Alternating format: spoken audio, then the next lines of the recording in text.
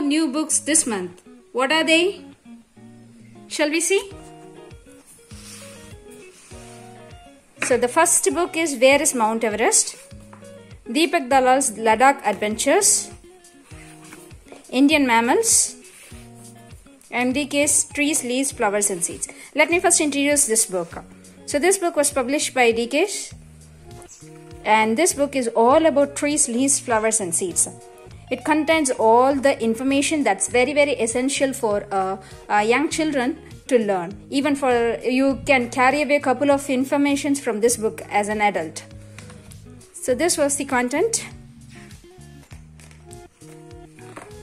So the pictures given in this are mostly from the real plants taken by, from the real plants and it's very interesting uh, if you have followed me in instagram you would come to know that my son draw this cucumber plant for his botany lessons using this picture. And how do roots work? So how many different types of roots are there? Uh, we could even amazed by the words uh, given here that we never heard of. Actually uh, for me i have never heard of about this. Then now we are finished what is stem and coming to this thing please closely note this one. Can you able to see it? I don't know. But just think. Was this a man-made bridge? No. It's a nature bridge. See?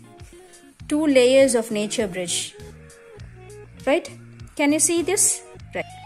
In northeast india meghalaya uh, you can see this bridge. This bridge was made of fig trees uh, um, i mean fig trees aerial shoots they will join the fig tree one by one and they twist it around and coil it around and using a bamboo they will make a, uh, a root to grow and reach the other side so that you can make this as a living bridge. Most of the living bridges in this world are uh, above 100 year, years uh, i mean more than 100 years old. And uh, this bridge is in uh, northeast india meghalaya and it is 164 feet i mean 50 meters long and it is a double decker bridge you know you can see this. And at once 50 people can cross this bridge right?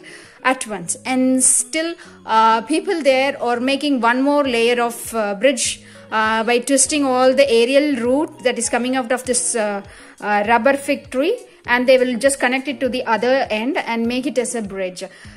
So this is very very interesting. It is in Cherrapunji and now let's get into this so how do seeds grow? Everything was given in an beautiful uh, photos. I really like this book. I'm just flip through all these pages so that you can have a glimpse of it. Wow it's wonderful picture isn't it of a sunflower? So why do plants have needles? They just want that is the uh, thorns right? They don't want to be eaten by all other animals. So i'm just keeping. So how is a flower? It helps in reproduction and different types of flowers. Everything looks like familiar to you. And this is very interesting. A garden of roses. Ingenious orchids even non-flowering plants are there one among them are ferns. And these are man-eating carnivorous plants. These are parasitic plants. So where is a tree? So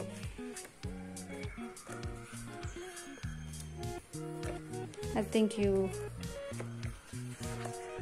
so ancient people have used uh, uh, plants ancient people cultivated maize rice wheat corn. So the timelines uh, in this page.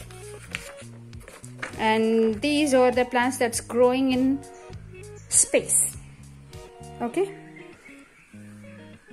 If you're still amazed let me throw out some of the important information about the space garden.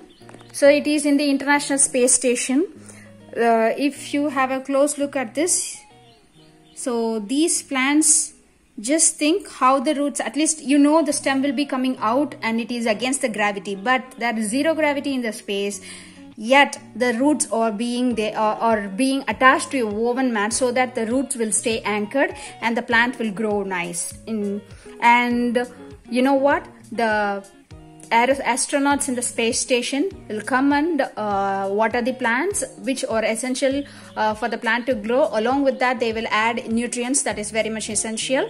And along with that they will give the carbon dioxide which they respirate out. And in turn they will get the return from these plants. They give out oxygen. So they are improving the the space station. Oxygen content in the space station. So i like that. So this is the glossary right so next one. So indian mammals. Right. So this book was written by vivek menon. And you have information that's very very interesting. So let me first introduce you to the contents right? Introductory pages primates elephants odd-toed ungulates even-toed ungulates uh, carnivores, hares and pikas, pangolins, tree shrews, shrews and moles, everything about this, about the mammals was given here. And uh, in this book, they have given the uh, conservation status of each and every mammal here. Every carnivore and mammal, everything is given here. So what are mammals? So the introduction was given about that. And the subdivisions, how the mammals were formed, and many subdivisions were given evolution how how the evolutionization of mammals happened that was given in this uh, thing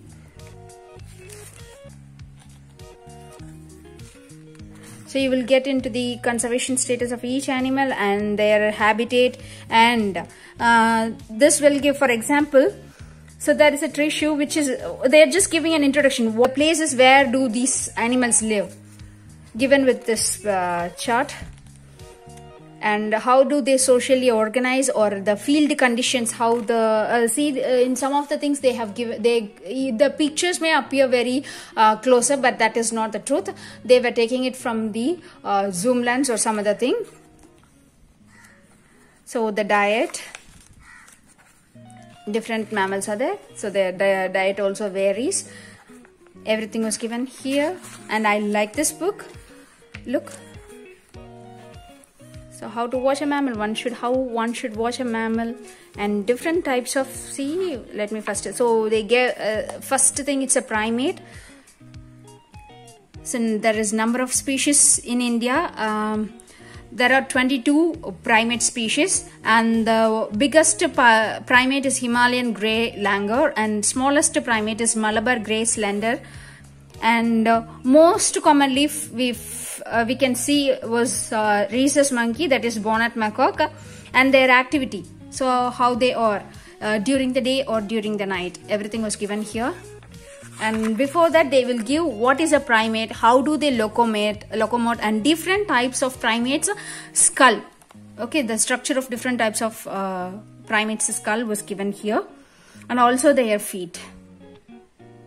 Do they socially organize and what was their diet and they how do they communicate with each other and social organization between each of them and between them and reproductive strategies. There are different types of strategies and they have given the pictures of uh, how to differentiate the um, actually reproductive organs of the primates and threats and conservation and uh, local pictures. They are getting very uh, uh, specific with the each species. And this is the common name western uh, hoolock gibbon. And next one is eastern hoolock gibbon. So the place where they were found was given here. You can see different types of animals were given along with their details. It is very very interesting along with their uh, illustrations. You can see them. It's interesting